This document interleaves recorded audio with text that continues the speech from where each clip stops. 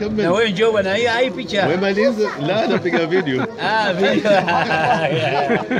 كمل تكلم. الحمد لله زين أوكي. الحمد لله والصلاة والسلام على رسول الله صلى الله عليه وسلم. تم خروجي الحمد لله رب pemba الحمد لله رب العالمين. alhamdulillah كوجي هابا هاتو جاجا بيكنيك ولا هاتو جاجا kutoa محاضرات. Watu wanaweza kustajabu hawa watu wa dawa kwenda kufanya kitu gani? Hapa inazungumzwa fikra ya rasulillahi sallallahu alaihi wasallam. Nini alikuwa fikra yake?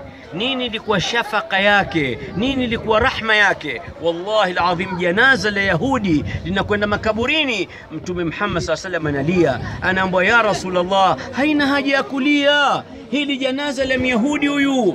Anasema nafsun tafallat min yadi ila nari jahannam. Nafsi imetoka kwenye mikono yangu mimi rahmatin lilalamin anakwenda motoni. Hii ndo tumekuja hapa sisi sote mnapotuona hapa fikra rasul. Tunaomba watu wote waliokuwa ulimwenguni basi ya allah hidi nasi jamia.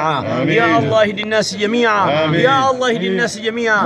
Ya allah wape shifaa waislamu wote hata wazidi iman. Na wape wa shifaa makafir hata waingie kwenye uislam ya hayu ya qayum ya dha ljalal ikram ya allah kila mgonjwa duniani mpe shifaa ya rabbil alamin muislamu izidi iman na alikuwa si muislamu aingie kwenye dini ya kiislam na sisi sote tuwe min ahli jannati firdaus na ummati rasulillah sallallahu alaihi wasallam bikamiliha wassalamu alaikum warahmatullahi wabarakatuh wabillahi tawfiq